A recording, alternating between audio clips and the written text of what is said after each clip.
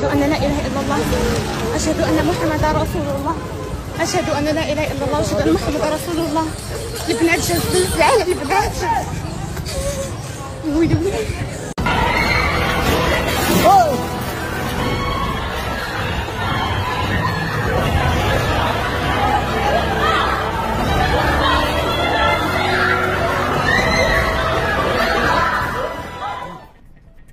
كارثة المغرب. تعليق أمريكي على خطورة مركز زلزال مراكش.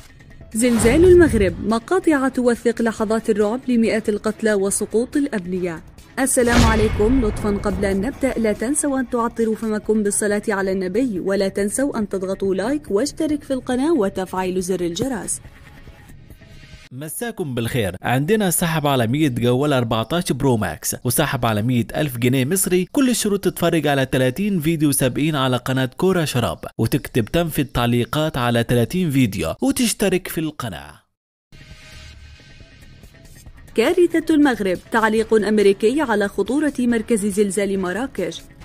قالت هيئة المسح الجيولوجي الأمريكية إن مركز الزلزال الذي ضرب المغرب ليلة الجمعة السبت يقع بالقرب من بلدة إيغيل في ولاية الحوز على بعد حوالي 70 كيلومترا 43 ونصف ميلا جنوب مراكش.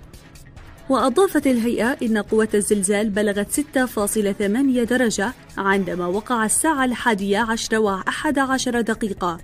مساء بالتوقيت المحلي. الثانية والعشرين فاصل أحد عشر دقيقة بتوقيت غرينتش. مع حزة استمرت عدة ثوان. ولفتت إلى أن مركز الزلزال كان على عمق 18 كيلومترا 11 ميلا تحت سطح الأرض في حين حددت وكالة الزلازل المغربية مركزه على عمق 8 كيلومترات خمسة أميال.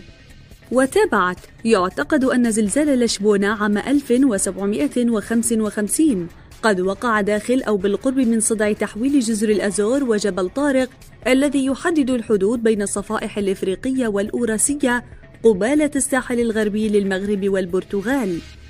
وجاء في بيان للوزارة السبت إلى حدود الساعة السابعة صباحا سجلت 632 وفاة و329 إصابة من بينها 51 إصابة خطيرة.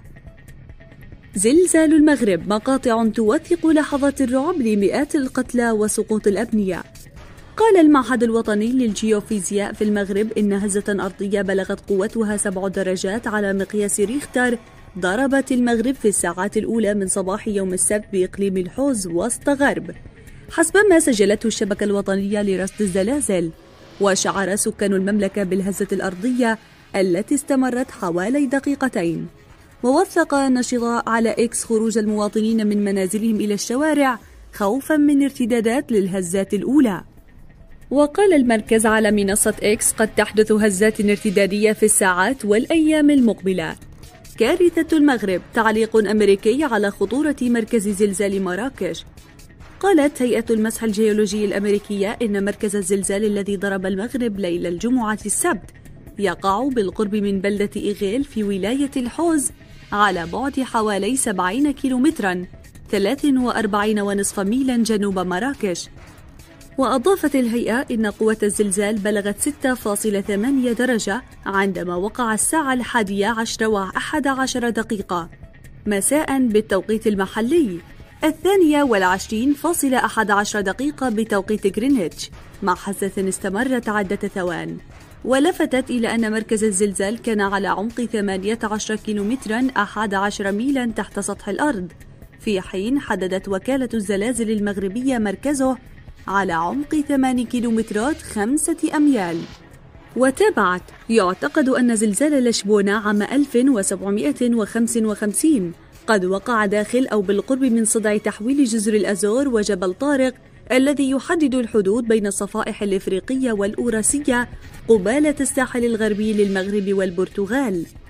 وجاء في بيان للوزارة السبت إلى حدود الساعة السابعة صباحا سجلت 632 وفاة و329 إصابة من بينها 51 إصابة خطيرة. زلزال المغرب مقاطع توثق لحظات الرعب لمئات القتلى وسقوط الأبنية. قال المعهد الوطني للجيوفيزياء في المغرب إن هزة أرضية بلغت قوتها سبع درجات على مقياس ريختر ضربت المغرب في الساعات الأولى من صباح يوم السبت بإقليم الحوز وسط غرب. حسب ما سجلته الشبكة الوطنية لرصد الزلازل وشعر سكان المملكة بالهزة الأرضية التي استمرت حوالي دقيقتين. ووثق النشطاء على إكس خروج المواطنين من منازلهم إلى الشوارع خوفا من ارتدادات للهزات الأولى. وقال المركز على منصة إكس قد تحدث هزات ارتدادية في الساعات والأيام المقبلة.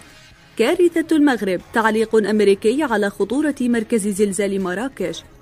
قالت هيئة المسح الجيولوجي الأمريكية إن مركز الزلزال الذي ضرب المغرب ليلة الجمعة السبت يقع بالقرب من بلدة إيغيل في ولاية الحوز على بعد حوالي 70 كيلومترا 43 ونصف ميلا جنوب مراكش. وأضافت الهيئة إن قوة الزلزال بلغت 6.8 درجة عندما وقع الساعة الحادية عشر وأحد عشر دقيقة مساء بالتوقيت المحلي. الثانية والعشرين فاصلة أحد عشر دقيقة بتوقيت غرينتش مع حزة استمرت عدة ثوان.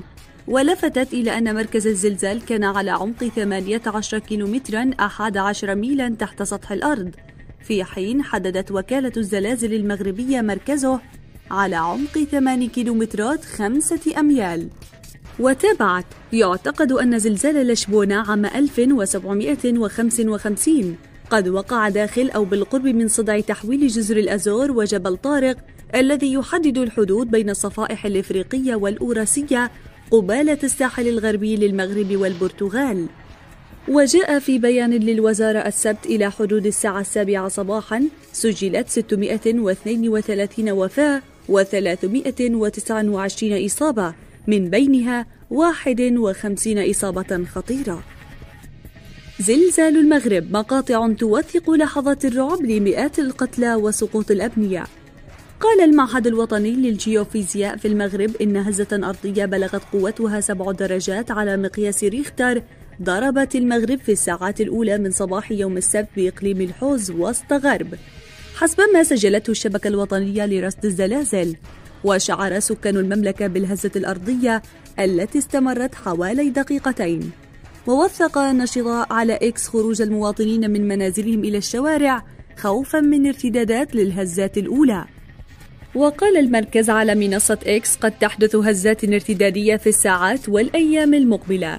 والآن أعزائي المشاهدين أعتقد أننا وصلنا إلى نهاية الحلقة ولكن قبل أن أنهي حديثي سأطرح عليكم سؤالا وأتمنى منكم المشاركة بآرائكم في التعليقات. ما هو سبب زلزال المغرب؟ لا تنسوا أن تشاركوا بآرائكم في التعليقات ولا تنسوا أن تضغطوا لايك أسفل الفيديو من أجل دعمنا. وفي النهاية أتمنى منكم الاشتراك في القناة وتفعيل زر الجرس لكي يصلكم كل جديد أولا بأول. وقبل أن ننهي الفيديو كالعادة لا تنسوا الصلاة على النبي.